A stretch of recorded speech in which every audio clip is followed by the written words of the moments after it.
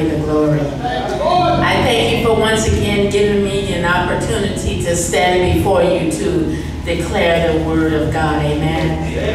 And not to prolong, we ask that you would stand for the reading of God's word. Amen. Amen. Coming from the book of Ephesians,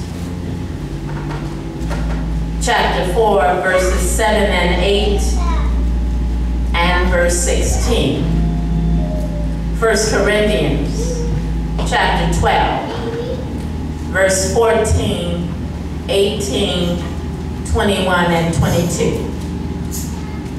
And the word of God reads accordingly. But grace was given to each one of us according to the measure of Christ's gift. Therefore it says, when he ascended on high, he led a host of captives and gave gifts unto them. He makes the whole body fit together and unites it through the support of every joint. As each and every part does its job, he makes the body grow so that it builds itself up in love. 1 Corinthians 12, 14. Our bodies don't have just one part. They have many parts. But God has put all parts of our body together in the way that He decided is best.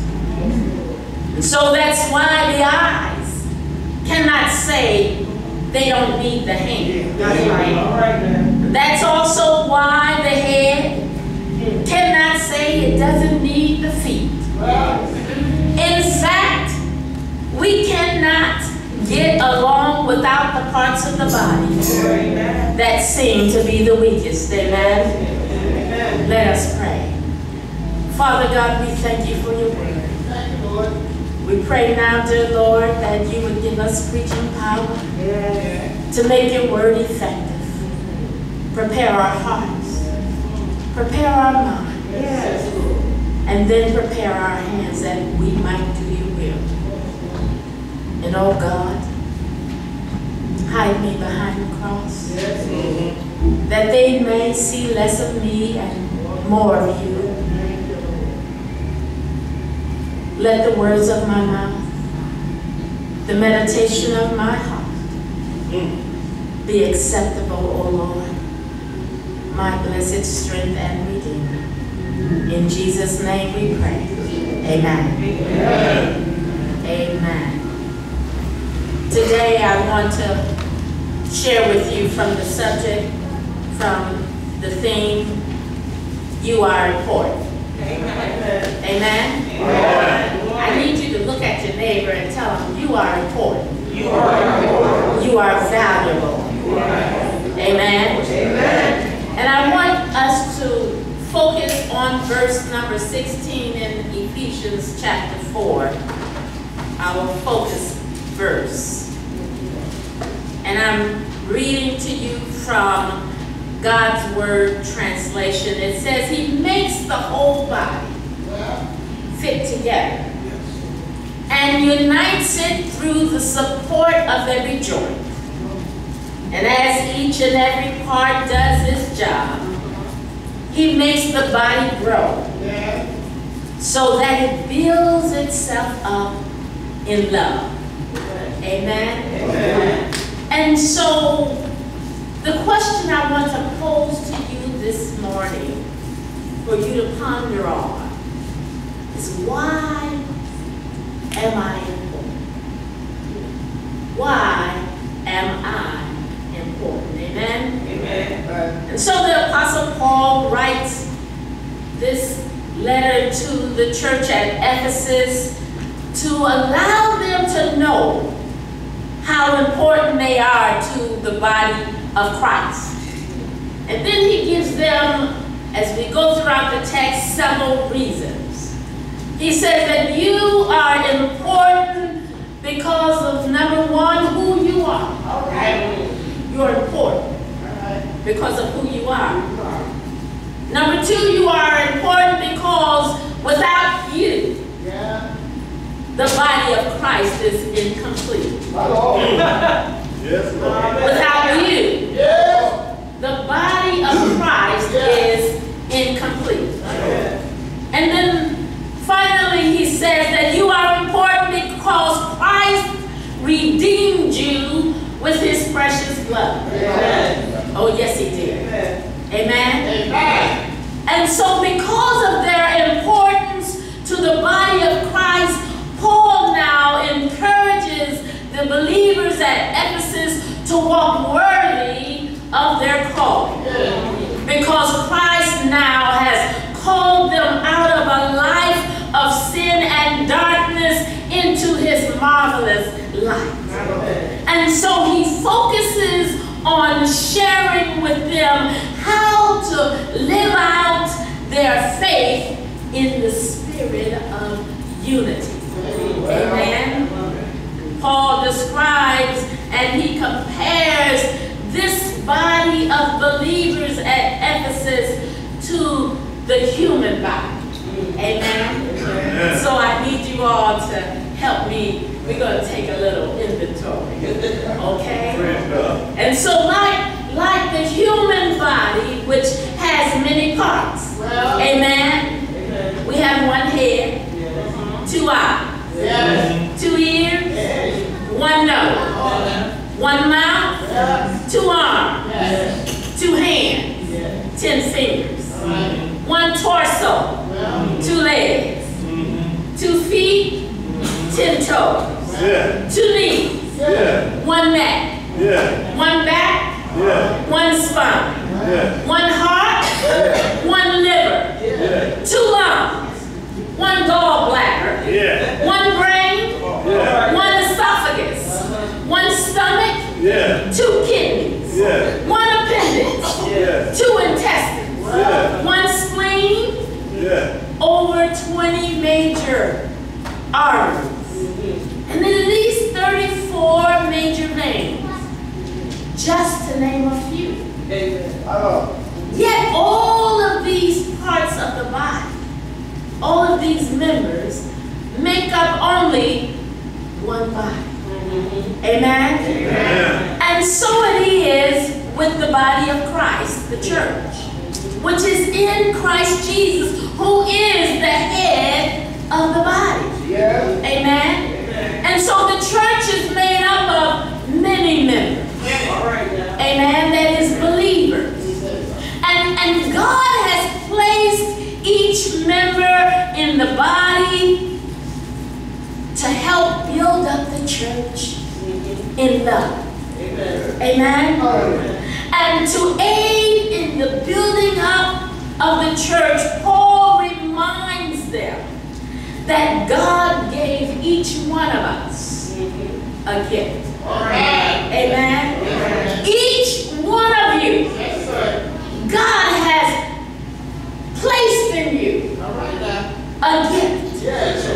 And so verse number 8 tells us, it says that when he arose from the dead, yeah, when he ascended on high, he led a host of captives.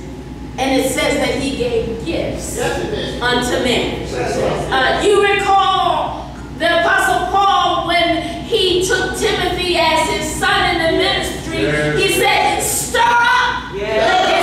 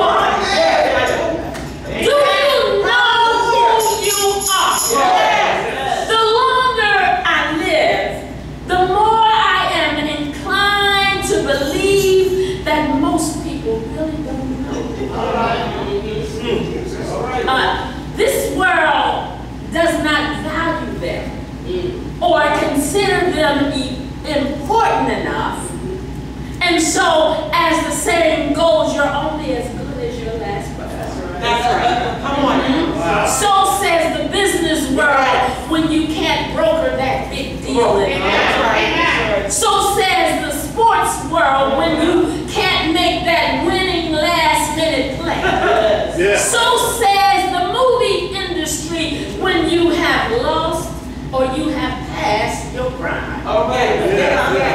You see the desire for quick and sustaining profits has caused many businesses to not replace the human workforce mm-hmm. with machines and robots. That's right. With artificial intelligence. That's right. Yeah. Called AI. Have you heard of it? They think nothing of the damage they do when they carelessly inform their employees that they are no longer employed and they call for security to escort them out.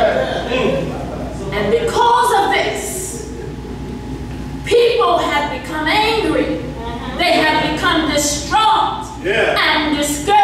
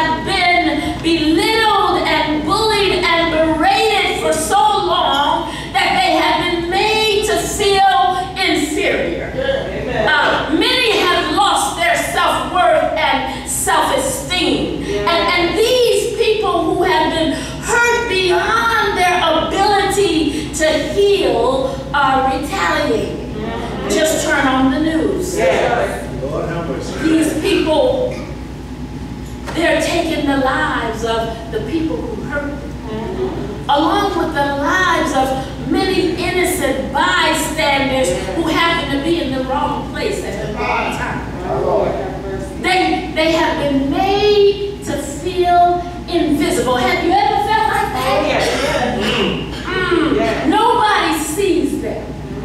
Nobody uh, believes that they have anything to contribute.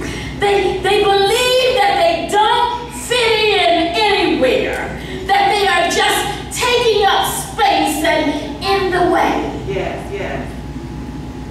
I read a true story a couple days ago as I was reading my daily word, and it was the story about the son of a famous person. His name is Todd Lincoln. He is the son of Abraham Lincoln. And his best friend, friend wrote, whose name was Nicholas Murray Butler, he wrote that Todd often made the comment, he says, nobody wanted me for Secretary of War. They wanted Abraham Lincoln's son. Mm-hmm. Nobody wanted me for Minister of England. They wanted Abraham. Nobody wanted me for president of the Pullman Company. They wanted Abraham Lincoln's son. I say all of that because they didn't see Todd for himself. They didn't see him for the gift that he was and the value that he had. They only saw him as Abraham Lincoln's son. Have you ever got caught in somebody's shadow and all they saw you as your big sister's little sister? Yes. Uh,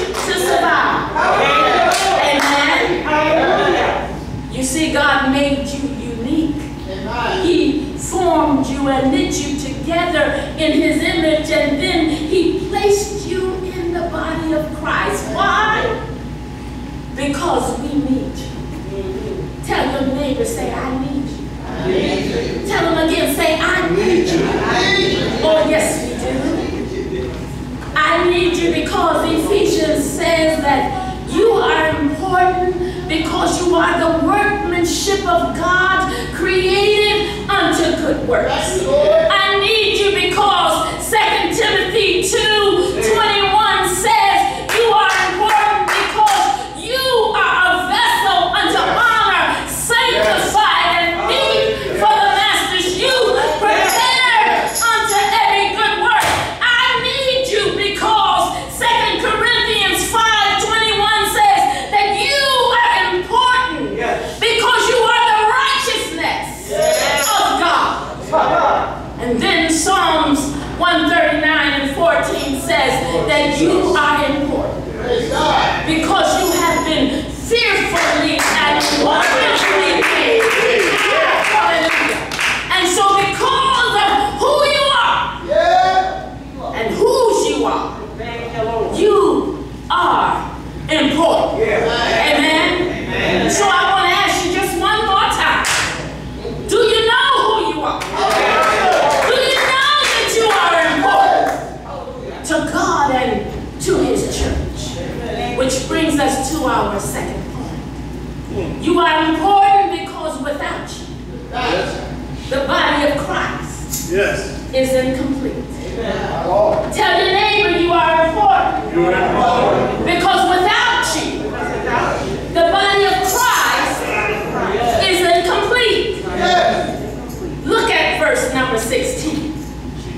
It says, as, as each and every part does its job, he makes the body grow so that it builds itself up in love. Ask yourself this question. What gift do I have? Or what can I supply that the church needs? Say so. Amen? The answer is you. You are the gift. And the gift that God has placed within you. You are what the church needs. The Bible says that when Christ, who died for our sins, your sins and mine, when he rose from the dead, when he led captives captive, and he gave gifts unto men, the Bible says that grace was his gift to you. That unconditional love was his gift to you.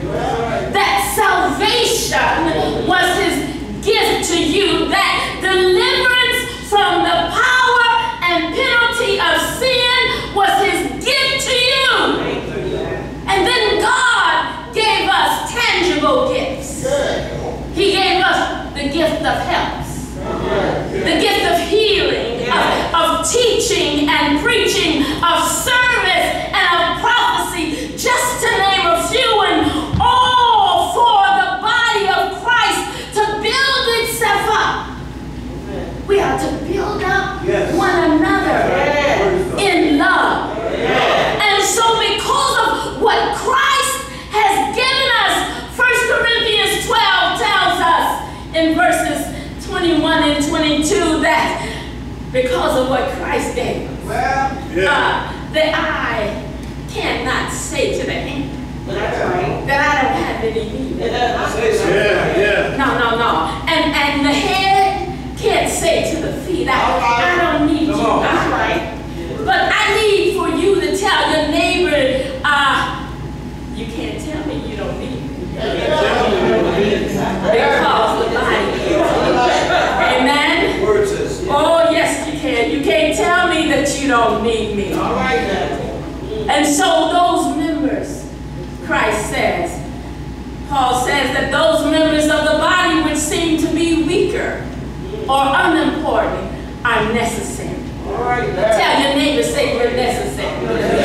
Oh, yes, you are. Tell them, say you're necessary. Oh, yes, Yeah. I need you to survive. Yeah. In other words, listen, even though you may not be a or an evangelist, a prophet or a pastor, mm-hmm. even though you may not be a deacon or a trustee, a choir member, or even a clerk, you may not be an usher or a missionary, I need you to understand that if you're not any of these, you are still needed in the body of Christ.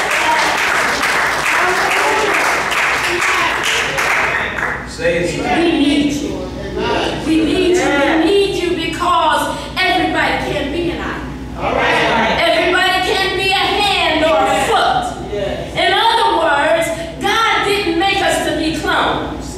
He did not give us all the same gift because God has gifted you with a message and a gift for the ministry and the body of Christ that only you can supply. I need you to know today and to believe that you are important to God and to the body of Christ. Yeah. Yeah. We need you. The world needs you. I need you to know that you are indispensable. Because Proverbs 27 says it like this. It says, as one piece of iron sharpens another. Yeah. Come on. So friends sharpen one another. Amen.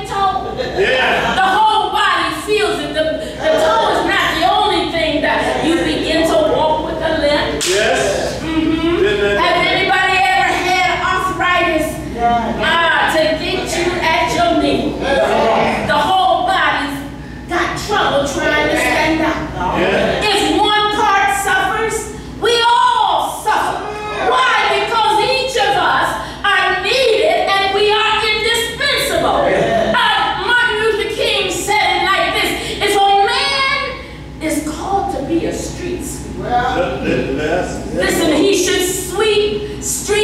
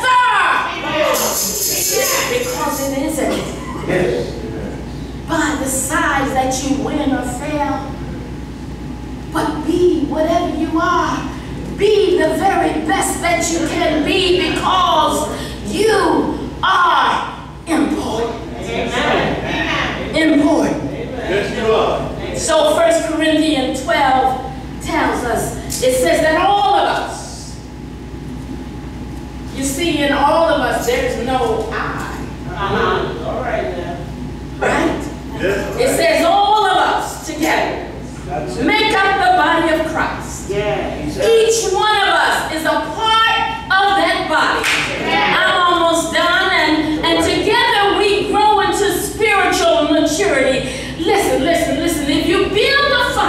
Yeah. And you take one of the logs out and set it by itself, what happens? It goes out. That's right. But, but if you replace that log back into the fire with the other logs, what happens? It reignites. Yes. Yeah. Amen? And so together we grow into spiritual maturity. You can't do it